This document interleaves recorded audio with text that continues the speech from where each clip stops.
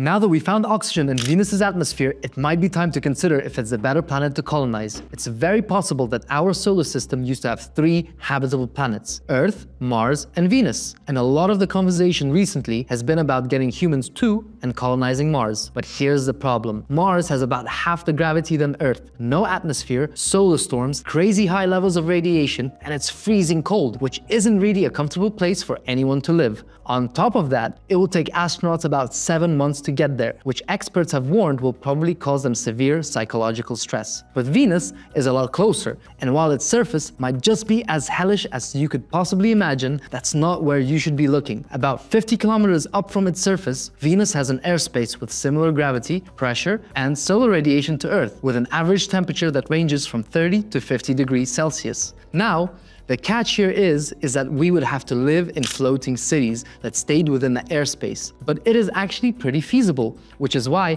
NASA released their Habitat concept in 2015, which would be a 30-day manned mission floating through Venus's atmosphere. So while you or I probably won't ever be living in the skies of Venus, our grandchildren just might be.